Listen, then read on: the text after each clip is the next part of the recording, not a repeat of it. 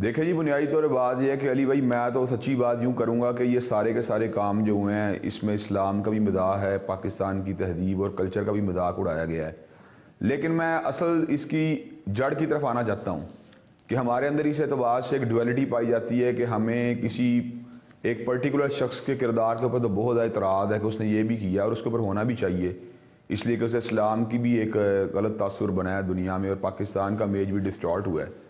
लेकिन समझने की बात है ये सारा का सारा जो हमने एक इंस्टीट्यूट खड़ा किया हुआ है एंटरटेनमेंट के नाम के ऊपर कल्चर के नाम के ऊपर। उसके नतीजे के अंदर अल्टीमेटली वही कुछ होगा जो इस वक्त हमें जिसको देखना पड़ रहा है। तो मैं समझता हूँ अगर हमने इस एक पर्टिकुलर केस को ही सिर्फ़ एड्रेस करना है तो ये बात जो है ना ऑनेस्टी का भी खिलाफ है और मैं समझता हूँ ये बात जो है ना हमारी एक डुअलिटी को जो है ना पिन पॉइंट करती है। हमें चाहिए उस पूरे के पूरे इंस्टीट्यूट जो है ना उसकी हाथ में की बात करें उस बेहयाई के कल्चर के हाथ में की बात करें जो मुआरे को पूरी की तरह जिसने अपने पूरे की तरह शिकंजे में लिया हुआ है हम्म। मैं ये समझता हूँ कि ऐसे तमाम वाक़ जो मुआरे की जो है लाकी जवाल का बायस बनते हैं लाकिन हतात का बायस बनते हैं जिसके नतीजे मुआरे में बुराई जो है प्रमोट होती है उनको हर साथ आगे कंडेम करना चाहिए और किसी एक पर्टिकुलर केस तक हमें जो है ना अपनी बात को जो है ना लिमिट नहीं करना चाहिए बल्कि इसको हमें एक ब्रॉड बेस के ऊपर जो है ना इस केस के नतीजे हमारी आँखें खुल जानी चाहिए। लेकिन इब्तसाम साहब आप क्या समझते हैं कि एक आर्टिस्ट अगर ये कहे कि जी हमारा तो ये काम है हमें तो करना है हमें इसका मुआवजा मिलता है और हम एंटरटेनर्स हैं हमने लोगों को एंटरटेन करना है हम्म। तो उस सूरत में आप क्या कहेंगे? देखिए जी मैंने तो पहले आपको ये बात कही है कि ये जुमला किसी भी तौर पे उनके किसी एक्ट को जस्टिफाई नहीं कर सकता। लेकिन इसके लिए हमें पूरे अपने माहौल का जायजा लेना चाहिए कि हमारे थिएटरों में क्या हो रहा है। हमारे सिनेमा हॉलों में क्या हो रहा है? हम शो भी इसके नाम के ऊपर क्या कर रहे हैं? क्या ये पहला वाक्य जो हमारे सामने मंदिर आम के ऊपर आया कि इसके बहुत से नदायर मादी के अंदर मिलते हैं? हमें इसको कंडेम करना चाहिए इसकी मदम्मत करनी चाहिए। मसूफा ने जो हरकत की है उसे नफरत की निगाह से देखना चाहिए। पाकिस्तान का इमेज जो है दुनिया में खराब हुआ है। दुनिया पाकिस्तान के वकार को धचका पहुँचा अच्छा, आपने से जो भी बात कही ना कि हमें इसको कंडेम करना चाहिए। पाकिस्तान का इमेज हमारे मज़हब इस्लाम का इमेज जो है वो ख़राब होता है पूरी दुनिया में। तो अक्सर अकात हमें उसमें जवाब में जस्टिफिकेशन ये दी जाती है कि आप और लोगों को देखिए और वो लोग क्या कर रहे हैं। हर जगह यही हो रहा है। मतलब अगर कोई घर पे बैठा ये कहता है कि तोबा अस्तफरुल्ला ये क्या तस्वीर हैं, ये क्या वीडियो है, ये क्या काम हो रहा है, क्या बेहयाई है तो क्या वो सब जो ये तनकीद कर रहे होते हैं, एतराज़ कर रहे होते हैं, वो खुद अपने गिरबान में झाँक के देखें कि वो खुद क्या कर रहे हैं। मैं यही मैंने मैंने मैंने असल में इसी तरह आपकी तोजो दिलाई है कि हमारे किरदार के अंदर इस वक्त दोहरा रवैया हमारा। हम मुनाफ्त का शिकार हैं। हम एक पर्टिकुलर इंसिडेंस को या एक पर्टिकुलर करदार अदा करने वाली औरत को कंडेम कर रहे हैं। लेकिन हम उस पूरे के पूरे माहौल से डिटैच होने के लिए तैयार नहीं है, जिसको एंटरटेनमेंट के नाम के ऊपर हमारे मुआशरे के ऊपर मुसलत किया जा रहा है। ठीक है।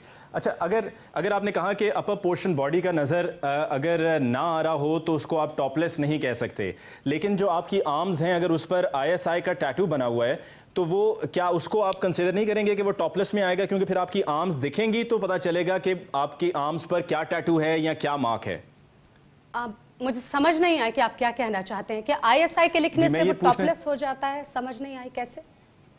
Exactly exactly. मैं यही आपने कहा ना कि अगर आपका बॉडी का अपर पोर्शन नहीं दिख रहा है तो उसको टॉपलेस नहीं कहा जा सकता है। लेकिन अगर आर्म्स जो हैं वो दिख रही हों जिस तरह की इस शूट में हमने या इस पिक्चर में देखा जो कि मंजर आम पर आई है जो कि एफएचएम की तरफ़ से लाई गई है कि आईएसआई लिखा हुआ है तो उसको आप किस तरह से एक्सप्लेन करेंगे? क्या तब भी वो भी टॉपलेस की कैटेगरी में नहीं आता है? देखिए शूट तो टॉपलेस है ही नहीं क्योंकि ऊपर का पोर्शन मेरे बाजू से कवर्ड है। आप कुछ देख नहीं सकते हैं। हम्म। और कोई भी ऐसी तस्वीर नहीं है जहाँ पे मेरा ऊपर का पोर्शन एक्सपोज्ड है। जहाँ तक आईएसआई के टैटू की बात है तो ये आइडिया भी एफएचएम ने जो मुझे मेल भेजा उसमें क्लियरली लिखा है कि they want to have ISI का टैटू मेरे बाजू के ऊपर। और हम्म। मैंने क्लियरली उनसे पूछा कि आईएसआई के इस टैटू के पीछे क्या है आप क्यों चाहते हैं? पहली बात कबीर टोलमी के बीना जी हम आईएसआई लिखेंगे एक एब्रीविएशन इससे जो शख्स जो भी अंदाज़ा लगाना चाहता है वो लगा ले। बट मैंने उनको कहा कि पाकिस्तान में एक इंस्टीट्यूशन है जिसका नाम है आईएसआई आप किस तरह से मुझे चाहते हैं कि मैं शूट करूँ आपके साथ। तो उन्होंने मुझे कहा हम्म। और जो बाद में आपने मैगजीन में भी देखा कि उन्होंने एक्सप्लेन भी किया है। कबीर शर्मा ने मुझे ये बताया कि इंडिया में कुछ भी गलत हो जाए चाहे किसी के पेट में भी दर्द हो जाए तो हम ये कहते हैं कि ये तो आईएसआई ने किया है। उनका बेसिकली आइडिया ये था कि हम इसको इतने पॉजिटिव वे में करेंगे कि दुनिया आपने देखा होगा कि मैगजीन की साइट पे लिखा हुआ है ISI hand in the end of the world too मतलब in a very in a very humorous way कि क्या अगर दुनिया खत्म हो जाती है तो उसके पीछे भी आईएसआई का हाथ होगा। इन दैट वे अगर आप देखिए तो मेरे इंटेंशंस वर वेरी प्योर सिर्फ़ एब्रीविएशन है आईएसआई का। अब उसको लोग जिस भी तरह से देखना चाहें कुछ लोग उसको नेगेटिव तरीके से देख रहे हैं कुछ लोग उसको पॉजिटिव तरीके से देख रहे हैं। लेकिन जो भी था आईएस आईएसआई लफ्ज तो मतलब उनका इशारा तो पाकिस्तानी आईएसआई की तरफ़ ही हाँ था ना? मगर बहुत ही पॉजिटिव तरीके से जिसका इकरार एफएचएम के एफएचएम ने भी किया है। और मैंने भी किया है। हमारे कोई इंटेंशंस नहीं थे कि हम आईएसआई का नाम किसी भी गलत तरीके से ले, ले, लेना चाहते हैं या ले रहे हैं because I am a Pakistani. कोई शख्स अगर ये समझेगा कि मैं पाकिस्तान के किसी भी इंस्टीट्यूशन का नाम एक नेगेटिव वे में लूँगी तो वो उनकी सोच हो सकती है हकीकत नहीं है। बिल्कुल। अच्छा मेरे पास ये लीगल नोटिस मौजूद है जो कि आपको एफएचएम की तरफ़ से भेजा गया और उसमें आपके हवाले से तफसील उन्होंने ये लिखी है कि आप बॉलीवुड में एंट्री लेने की कोशिश कर रही हैं और उनका बिहेवियर पहले भी ऐसा रहा है कि जिससे उनको पब्लिसिटी चाहिए होती है और वो सेंसेशनलिज्म में बिलीव करती हैं। और चीप पब्लिसिटी हासिल करने की कोशिश की उन्होंने और फैक्ट्स को उन्होंने ट्विस्ट किया। देखिए आप मेरा नोटिस देखिए जो मैंने एफएचएम को भेजा उसमें कोई गंदी जबान इस्तेमाल नहीं की गई। वो सिर्फ़ और सिर्फ़ हकीकत पे और जो फैक्ट्स थे उस पर मबनी एक नोटिस था जो मैंने उनको भेजा। हाँ, जब उनका नोटिस आया अब जब मैं आपको बताती मैं यहाँ पर जब उन एक बात मैं यहाँ पर एडमिट करूँगा जो आपका लीगल नोटिस है वो बहुत ब्रीफ और टू द पॉइंट है और उनका तकरीबन 12 सफात पर जी अब मैं आपको बताती हूँ जो उनका नोटिस है आप उसमें देखिए कि उसमें एक बहुत ही ओछा हथकंडा इस्तेमाल किया गया है जिसमें एक लड़की की इज़्ज़त के ऊपर इतनी बातें की गई हैं और वो नोटिस कम एक थ्रेटनिंग लेटर ज़्यादा लगता है एक धमकी आमेज खत लगता है कि जिससे कोई भी लड़की सोचेगी भी नहीं कि वो अगला स्टेप लेगी। किस तरह से मैं आपको बताती हूँ? सबसे पहले जब मैंने उनसे कहा कि कॉन्ट्रैक्ट कहाँ पे है इस बात का जवाब ही नहीं है उनके नोटिस में। दूसरी बात उन्होंने मेरी एफएचएम से रिलेटेड कम बातें हैं और मेरी माजी से रिलेटेड ज़्यादा बातें हैं। बिग बॉस में ये हुआ था, माजी में वो हुआ था और वो तमाम चीज़ें उन्होंने अज्यूम की हैं। उसमें कुछ हकीकत नहीं है।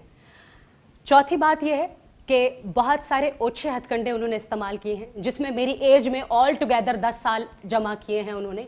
और बहुत ही वाहियात किस्म की ज़बान इस्तेमाल की है जो कि आम तौर पे वो लोग इस्तेमाल करते हैं जो किसी को धमकी देना चाहते हैं कि you better keep quiet otherwise हम तुम्हारे कैरेक्टर पे बात करेंगे.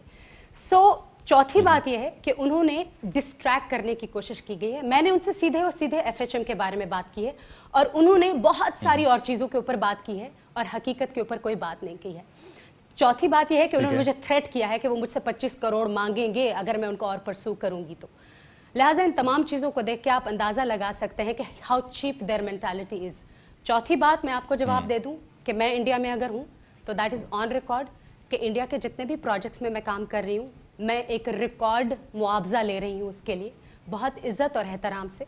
चौथी बात यह है कि मुझे अप्रोच किया जाता है प्रोजेक्ट्स के लिए। मैं इंडिया में सिर्फ़ इस वजह से हूँ कि इंडिया के लोग मुझे देखना चाहते हैं और जब तक वो लोग मुझे देखना चाहते हैं मुझे ऑफर्स आएँगे मैं काम करूँगी। हम्म। आपसे मुलाकात होगी एक ब्रेक के बाद। जो वीना मलिक ने किया या जो करती आई हैं, पहले भी उन्होंने इंडिया में जब काम किया तो क्या वो काबिल माफ़ी है? देखें जी, मैंने पहले ही बता दिया, इसके अंदर दो सजाएँ हो सकती हैं। तो डेथ पेनल्टी तक भी वो बात पहुँच सकती है। अदरवाइज़ जो है, इसकी सजा जो है, कोड़े भी हो सकते हैं।